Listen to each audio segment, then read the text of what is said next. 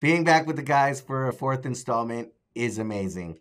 It's like a uh, 30th year at, uh, high school reunion, and we're still being on. You know, we're still doing the same things we were doing in high school, but now we're doing it 30 years later.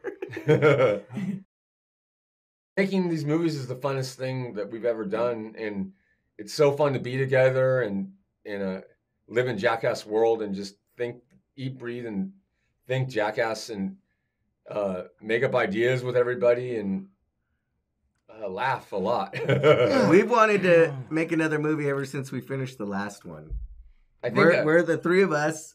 I think are always the go go go getters. yeah, Like that want to keep doing it. and and the chemistry that we all have together, I think, is so great. It would be wasted not to.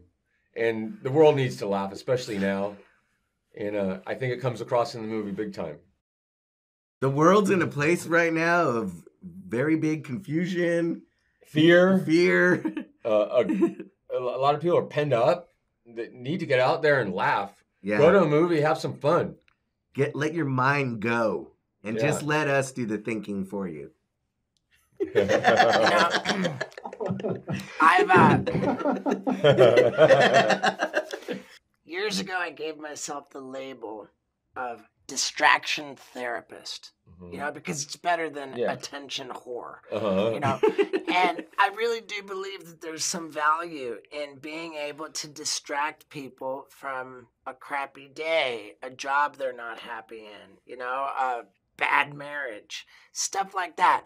And there's more stuff like that today Oh, than yeah. ever. for sure. So, as professional distraction therapists, we have a great deal of work to do, and we're doing it proudly.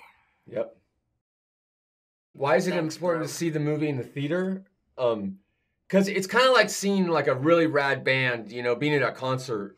Exactly. It's, it's an experience that you feel with with the audience, Right. and everyone just kind of becomes a part of. It's so fun to watch people watching Jackass movies. It's cool to it's cool to put the record on the record player, but it's better to see the band live. For sure. Yeah. I mean, dude, when I was uh, 13 years old and my dad said he was taking me to the Motley Crue concert, Mhm. he said that his company's Skybox in Maple Leaf Gardens, nobody cared about Motley Crue, so we could go and be in the Uh-huh. Skybox.